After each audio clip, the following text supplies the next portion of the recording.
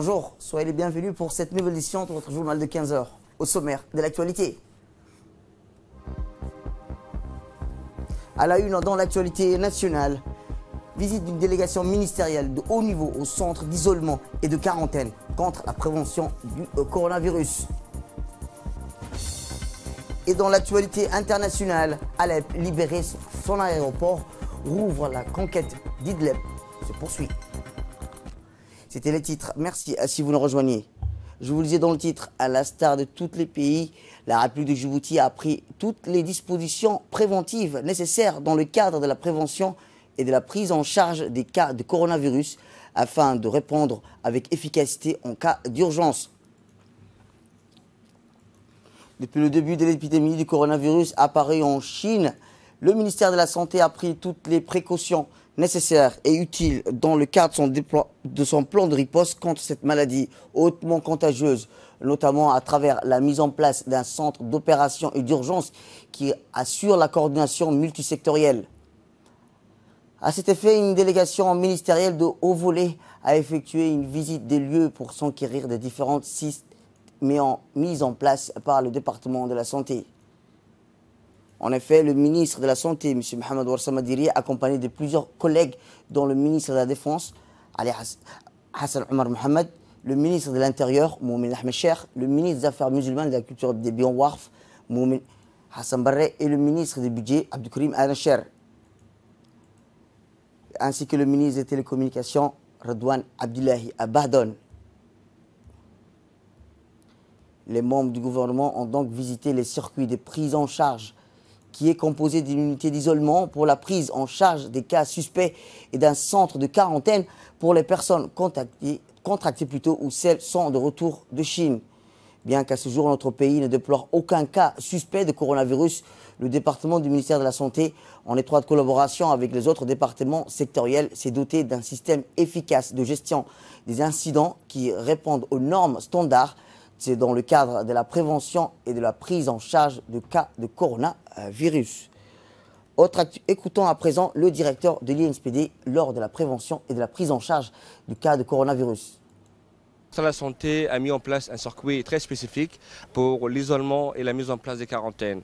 À côté, nous avons un autre euh, centre d'isolement pour les patients suspects et qui ne présentent pas euh, euh, les symptômes cliniques ou qui ne présentent pas des problèmes liés euh, pour le virus du coronavirus. Euh, c'est un service auquel, qui a été mis en place pour répondre et qui présente toutes les normes et standards au niveau international. même vous, voyez derrière nous les plastiques qui sont mis en place.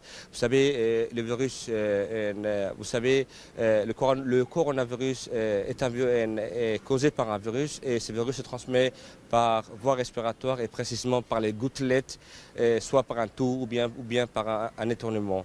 Alors toutes ces gouttelettes-là et toutes ces petites particules qui sortent de la bouche ou bien du nez euh, seront stoppées par le, ce modèle euh, derrière nous, plastique qui a été mis en place et qui répondent aux normes internationales. Ceci répond aux, aux, mesures que le gouvernement de Djibouti et, le ministère de la Santé ont mis en place pour ce phénomène épidémique international euh, lié au virus du coronavirus.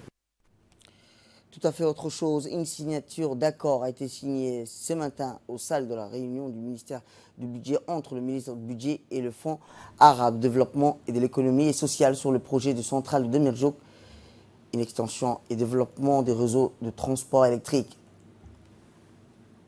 En effet, rappelons-le, l'électricité de Djibouti compte réaliser le projet d'extension et de développement du réseau et la création d'une nouvelle centrale de production électrique à Demirjouk. L'évolution économique importante de Djibouti va se traduire pour l'électricité de Djibouti à une croissance annuelle de plus de 10% de la demande à laquelle l'EDD ne saura la satisfaire dans une augmentation de ses capacités de production électrique et de son réseau de transport.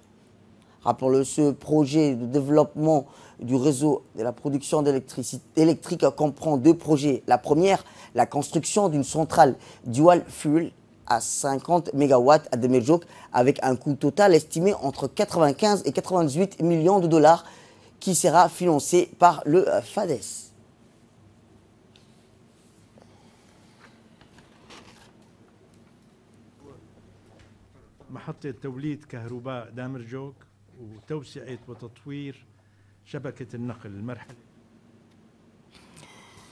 De son côté, le ministre de l'Énergie a expliqué qu'ils sont tous réunis ici aujourd'hui pour, le projet de centrale des Méjaux d'extension de développement du réseau de transport électrique qui, se situe à qui va se situer à Demejo. La délégation FADES est aujourd'hui depuis deux semaines et travaille avec le ministère de l'Énergie ainsi que les DD afin d'améliorer ce projet. On s'est bien compris, nous, nous, la délégation de FADES, c'est qui prouve aujourd'hui qu'on signe un accord sur ce projet central de Medjog, une extension et développement du réseau de transport électrique. Écoutons à présent le ministre du Budget sur cette signature d'accord entre le ministre du Budget et le Fonds arabe de développement et de l'économie sociale. euh, euh, une convention avec euh, les FADES, dont nous remercions l'effort qu'ils font depuis, depuis le début euh, de l'indépendance de notre pays. Ils ont toujours supporté. Euh, qu'il faut marquer que même sur ce projet, euh, ce qui était prévu, ils ont doublé leur portefeuille. Et nous le remercions. Euh, nous le remercions de l'effort qu'ils ont apporté en plus. Nous espérons que le FADES sera toujours auprès de notre pays comme toujours. Et j'espère que ce pro- projet a, a une double vision. La première vision, c'est de nous permettre d'avoir plus de capacités énergétiques. En plus, dans la zone où on va installer, il y aura des investissements. Donc l'EDD sera en mesure de répondre à ces investissements. Et dans une seconde phase, en cas où il y a une rupture, l'EDD aura suffisamment de capacités pour répondre à la demande du pays. Et nous remercions euh, euh, le fonds euh, FADES, fonds arabe, et j'espère que notre collaboration va continuer. Je, vous remercie.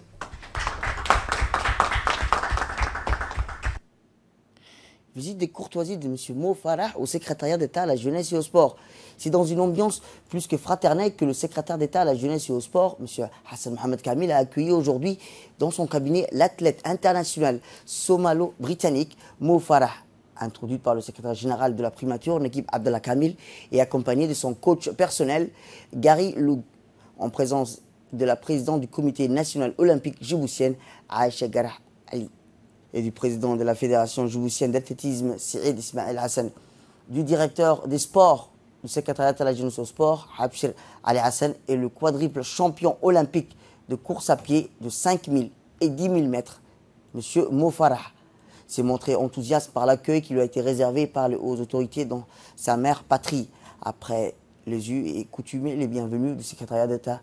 L'athlétisme, discipline de prédilection des Djiboutiens, a dominé les échanges de cette rencontre et le star international a assuré de sa totale disponibilité d'apporter conseils et expertise aux jeunes athlètes djiboutiens pour augmenter leurs chances de gagner des médailles lors des Jeux Olympiques de Tokyo prévus 2020. Prenant la parole en son tour, le secrétaire d'État à la jeunesse et au sport, Hassan Mohamed Kamil, n'a pas manqué de remercier M. Moufarah de cet élan de solidarité pour rehausser le niveau de nos athlètes qui se préparent à Addis Abeba, a-t-il dit, et assure qu'il fera un déplacement prochainement dans la capitale éthiopienne pour une rencontre de dernière mise au point en présence de M. Moufarah qui lui a aussi été élu les montagnes de l'Abyssinie pour se préparer au JO de Tokyo. Toujours dans les nouvelles du pays, le Sheraton Hotel a abrité ce matin un atelier de validation du protocole national de développement du système national de suivi et d'évaluation du secteur d'eau et d'assainissement en milieu rural. L'atelier, rappelons-le, a été organisé par le ministère de l'Agriculture, de l'Élevage, de la Pêche et de l'Eau en étroite collaboration avec l'UNICEF et a vu la participation des représentants des institutions publiques la représentante de l'UNICEF, Mme Melva Johnson, a prononcé un discours dans lequel l'UNICEF maintient son soutien financier, sous-financier plutôt avec le ministère de la Culture, de l'eau et de la pêche pour l'accompagner dans le processus d'opération, d'opéralisation plutôt du système de suivi et d'évaluation des services des eaux et d'assainissement ainsi que d'hygiène. pour l'accompagner dans le processus d'opérationnalisation du système à travers un accompagnement technique étalé sur une période de 12 mois. Au terme de cette période, le système de suivi et évaluation des, des services d'eau, assainissement et d'hygiène sera fonctionnel et rendra disponible des données récentes, fiables et en temps réel pour permettre une bonne gestion des interventions de eau, assainissement hygiène dans le pays en vue de l'atteinte d'une couverture universelle en service d'ici 2030 dans le cadre des objectifs de développement durable. Le secrétaire général du ministère de la Culture, de l'eau et de la pêche, de M. Ibrahim Elmi, qui a présidé l'ouverture de cet atelier, a expliqué que, son département poursuit ses efforts et que le dispositif de suivi et d'évaluation de l'eau et de l'assainissement et de l'hygiène en milieu rural doit permettre de faciliter l'attente des objectifs du gouvernement en créant un capable de mesure l'étendue. Écoutons-le. L'éradication de la soif et la facilité d'accès à l'eau potable de l'assainissement constitue l'une des priorités du gouvernement de Djibouti et notamment du ministère de l'Agriculture. Faire de ces vœux une réalité concrète et mettre les populations des zones rurales à l'abri des difficultés liées au stress hydrique sont les nobles missions que poursuit sans relâche le ministère de l'Agriculture à travers la direction de l'hydrologie Dans ce cadre précis, le ministère, à travers la DHR et l'appui de l'UNICEF, a, a, développé depuis 2019 le protocole national du système de suivi et évaluation du secteur WASH en milieu rural en étroite collaboration avec toutes les parties prenantes. Le document est conçu avec l'appui d'un bureau d'études dénommé Consinus et validé en février 2019 à travers un atelier de validation qui a eu lieu le 19 février 2019 au Sheraton Hotel, ici même. Nous nous sommes encore réunis aujourd'hui au Sheraton Hotel pour faire part du lancement de l'opérationnalisation effective du dispositif des outils du système de suivi et évaluation. Le dispositif permettra de faciliter l'atteinte des objectifs du gouvernement en créant un processus capable de mesurer périodiquement l'étendue, la profondeur et l'évolution de la mise en œuvre des différentes euh, actions dans le secteur WASH. Il servira aussi à analyser l'approche d'intervention de résultats, les effets, les impacts et les résultats, ainsi que les limites et les contraintes. Toujours dans le nouvelle du pays, l'Institut national de surveillance de la charia a organisé un atelier de formation intitulé Comment gérer des organes de la charia dans les banques islamiques au profit des membres des organes de la charia dans les banques islamiques et de la Banque centrale de Djibouti. L'occasion s'est déroulée en présence du président de l'Institution nationale de surveillance de la charia, M. Ibrahim Abed Ibrahim, et du chef de l'autorité suprême de la fatwa, Cheikh Abdurrahman Mohamed Shams al-Din, et plusieurs universités djiboutiennes. Et enfin, dans le cadre de la prise de contact avec la communauté rurale, le préfet de Tedjora, M. Hassan Dabale, a rendu s'est rendu plutôt sur la préfecture de Landa où il a été accueilli en premier lieu par le sous-préfet de Landa, Adel Mohamed Daoud, ainsi que la communauté de Landa. On réservait au préfet d'Abelé un accueil le plus chaleureux. Par la suite, le préfet de la région s'est entretenu avec le local et les responsables qui ont pris part à cette prise de contact tant attendue. Profitant de cette journée, les sages des sous-préfectures de Randa ont formulé leurs doléances dans lesquelles ils ont souligné les difficultés majeures. Le préfet d'Abalais s'est dit satisfait de l'accueil qui lui a été réservé. Il a promis qu'il fera le nécessaire tout en partageant ses doléances avec les membres du gouvernement afin de trouver une issue à ce problème qui impacte la population de Randa. Et enfin, dans l'actualité internationale, après le Sénégal, le secrétaire d'État américain Mike Pompeo s'est rendu à Luanda pour une visite de travail en Angola visant à renforcer la coopération entre les deux pays.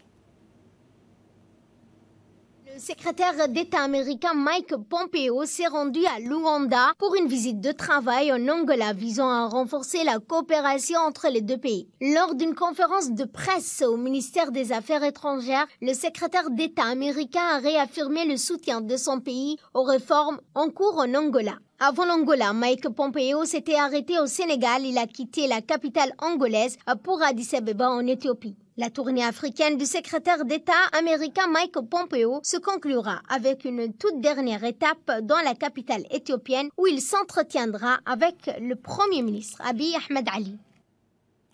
C'est tout pour cette édition. Merci à vous de nous avoir suivis. Restez avec nous pour la suite de nos programmes télévisés.